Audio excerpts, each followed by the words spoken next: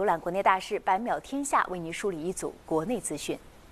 内蒙古首趟中老铁路国际货运列车十九号正式开行，列车从乌兰察布市西苏木铁路国际物流园出发，将由中老铁路云南磨憨口岸出境，预计十天后抵达老挝首都万象。货运列车开通后，从内蒙古发往老挝的货物较之前通过公路运输节省了大约一半时间。十九号，一批货值一百六十二万的出口跨境电商商品在广西钦州港口岸装船离境，经公路转海运多式联运出口越南。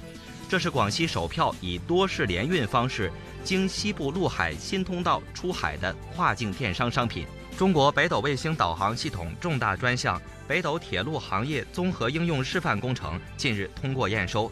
有力促进了中国北斗和中国高铁的深度融合。北斗铁路行业综合应用示范工程融合大数据、物联网、5G、云计算等技术，面向铁路工程测量、自动化监测系统等铁路业务板块。近日，北京市开展桥下空间整治专项任务，主要解决环境脏乱、低效率利用等问题。目前，共有一百多处桥下空间整治完成。二环、三环路的部分脚下空间已经变身面向周边居民的停车场。今年计划再完成四百五十七处清理整治，部分具备条件的有望打造成便民服务的公共空间。日前，成都大运会奖牌荣光全球发布。